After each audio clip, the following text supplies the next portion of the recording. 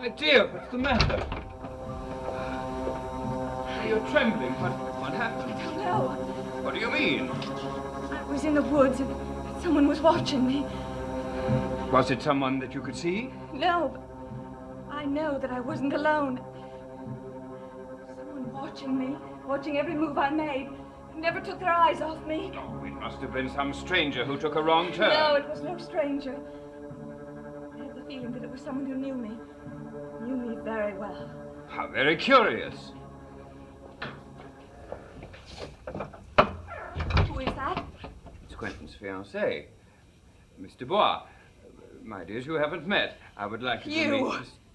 You were in the woods watching me. You've always watched me, always spied on me. Well, you won't spy on me anymore.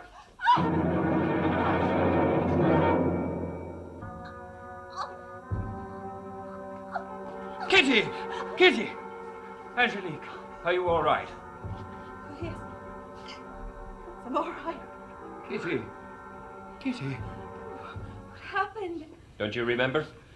I, I remember being in the woods, and I was, I was terribly frightened. I, someone was watching me. You accused Angelique of watching you. Angelique. Quentin's fiancé. I was introducing you and you tried to strangle her. I tried to strangle her. I, can't believe it. I, I don't understand. Did I hurt you, Miss Dubois? No, you didn't. Well, I don't even know that how I can apologize for something like that. I, I can only say that I could not have been myself. I, I don't know what I could be thinking to. Please, please forgive me. A night like this can cast all kinds of spells on people. I would like to go to my room, Edward. Let me go with you, Kitty. You're still as pale as if you'd seen a ghost.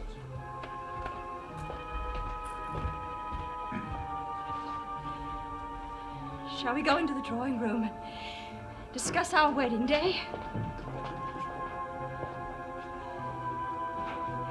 Quentin? Quentin? I think I know why she did that. Oh, you do? Mm-hmm. Why? The hate I feel for you was somehow transferred to her mind, and she suddenly hated you enough to kill you. What an interesting theory, Quentin. Well, I'm sure you'll come to know sooner or later that the reason that lady attacked me has got nothing whatsoever to do with you. Shall we go into the drawing room?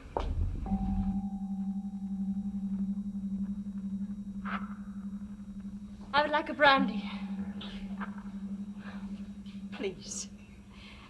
After all, I'm still a little shaken from my close encounter with death. Too bad she didn't succeed. I'd be free. Well, she didn't.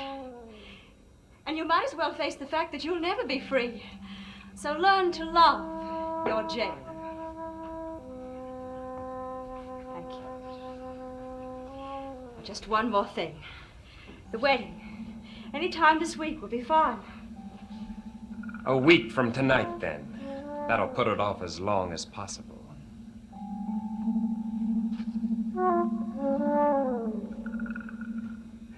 Edward.